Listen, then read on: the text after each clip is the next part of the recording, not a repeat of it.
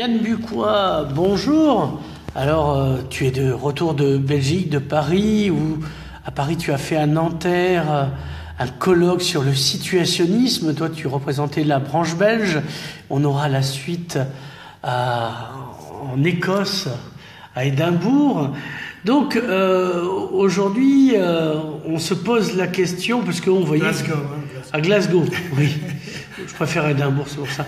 Euh, on se demande, on, s'interroge parce qu'on voit le monde diplomatique, euh, donc un éditorial euh, de Serge Alimi, et cette fois encore le piège du vote utile. Alors, toi, tu es un observateur de la politique française, tu t'en repais. pour toi, c'est un spectacle formidable. Tu es comme un enfant. Alors, le vote utile, c'est quoi pour toi? Est-ce que c'est un piège ou il n'y a jamais eu de vote utile Le seul vote utile, c'est le vote dont on a vraiment envie. Ben, de toute façon, euh, tout vote est inutile, puisque si le vote pouvait changer la société, il serait interdit. Donc ça, on le sait très bien. Donc on est, euh, si tu veux, euh, entre les deux. Voilà, ni utile ni inutile. donc on est dans une zone très grise.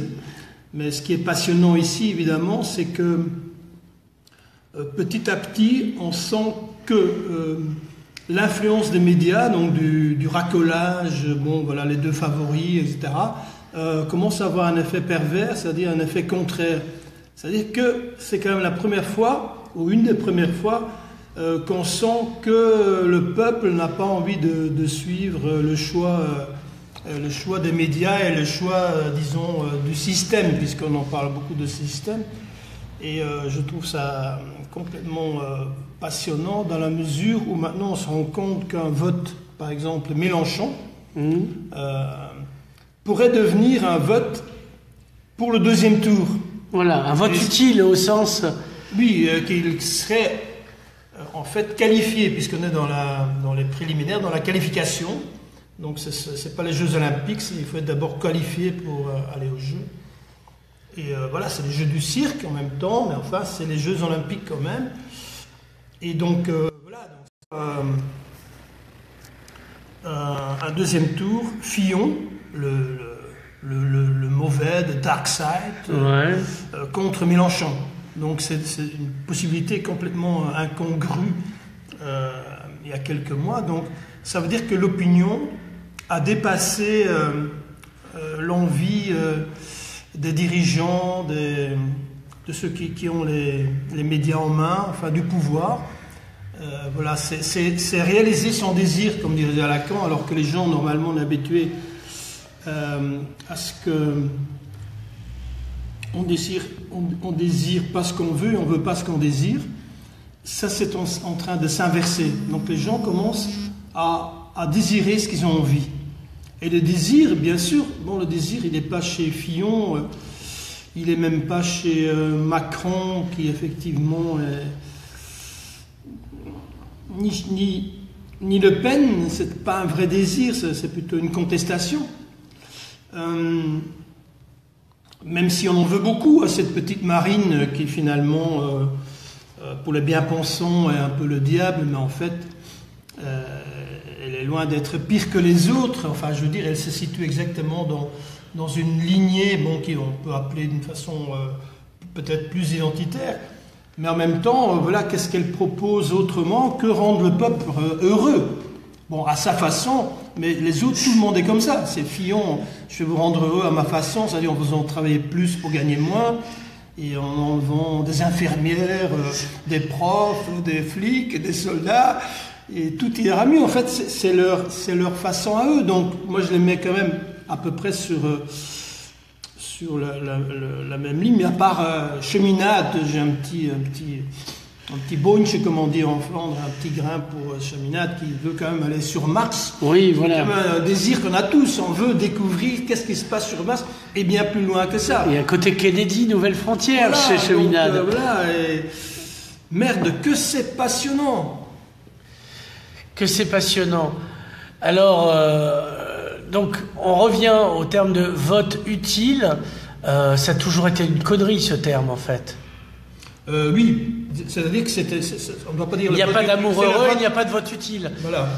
Et on peut dire ou le vote des médias. Voilà. Le, le vote, euh, voilà. Le vote utile, en fait, c'est le vote des médias. Voilà, ou le vote des puissants. Voilà. Et les puissants, les médias. Voilà.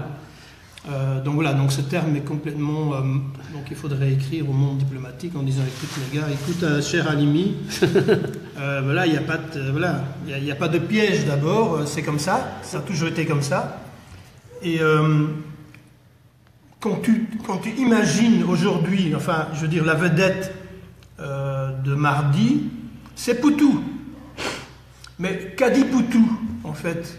Pas, Poutou n'a pas dit grand-chose, enfin, à part le, même pas, je crois qu'il n'a même pas dit euh, le pouvoir au peuple, ou des choses comme ça, ou, à- à- à- abolissant la propriété privée, enfin des choses bêtes, Ouais, simples, ouais. et de base, c'est même, on n'est plus là-dedans. Mm. Il a simplement dit, euh, euh, Fillon, t'es un escroc, et, et Marine, tu te mets plein les poches avec l'Europe que tu détestes. Enfin, il a dit deux choses qu'on se dit tous euh, voilà, au bistrot, Mhm. Et de la façon dont il a parlé comme les gens parlent. Mais est-ce Euh, que. L'authenticité. Ouais. Donc, lui, cette phrase-là a, a fait de lui, pendant, dans un show de 4 heures, c'est la vedette. Et je n'oublie pas euh, la petite euh, Nathalie Arthaud, Oui. qui a quand même dit une chose de base aussi.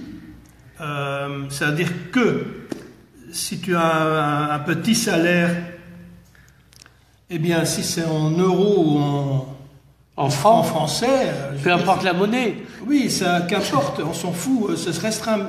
Donc, hein, c'est qu'on peut dire sur les, les pauvres aussi hein, maintenant. Donc, euh, voilà, quand on est pauvre, que ce soit payé en, en euros et que ce soit payé en, en francs français, euh, on s'en fout. Et c'est peut-être là que, que Marine a fait une erreur dans, sa stratégie, euh, dans son. C'est-à-dire de, parler d'Europe et d'euros et de machin, parce que c'est pas de ça qu'il faut parler. Les, gens n'ont rien à foutre. Ils ont très bien compris que ça ne changera pas grand-chose et que le, le grand changement, euh, c'est comment est-ce que on peut mieux distribuer les richesses. Voilà, et que, que tout le monde il se prend un paquet euh, voilà, du, du gâteau et qu'on travaille moins et que euh, abolissons le travail, euh, abolissons l'esclavage et travaillons le moins possible et vivent.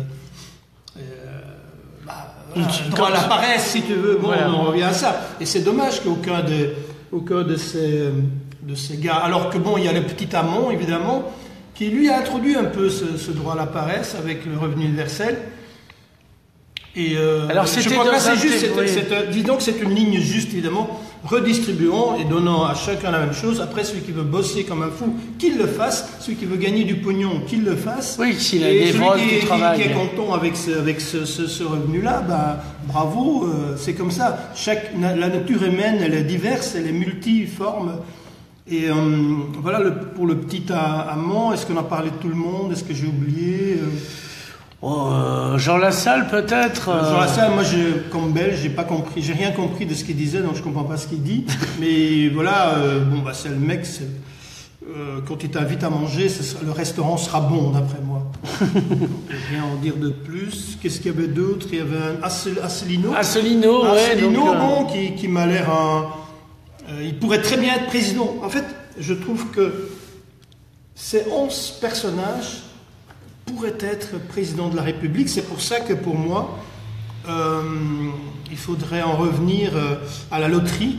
C'est-à-dire que voilà, on choisit euh, le président par une grande loterie nationale. mhm. Et, et il y a une bonne petite représentation là, et donc je veux dire que euh, on pourrait tous être président de la République. Moi-même, étant belge, euh, je me sens aujourd'hui euh, capable d'être président d'une république, mais d'une république évidemment complètement régionalisée avec le Nord euh, indépendant, le Pas-de-Calais indépendant, la Creuse indépendante Mhm. et bien sûr euh, la Catalogne indépendante. Voilà. Et donc, ça sera l'objet d'une prochaine chronique, puisque euh, toi qui as tenté de renverser le, le roi de Belgique à maintes reprises, qui a écrit pour qu'il abdique, tu te constitues pour l'indépendance et une république catalane. Je parle au sud. Absolument. Merci Yann Bucois. On se revoit bientôt pour la suite de cette chronique.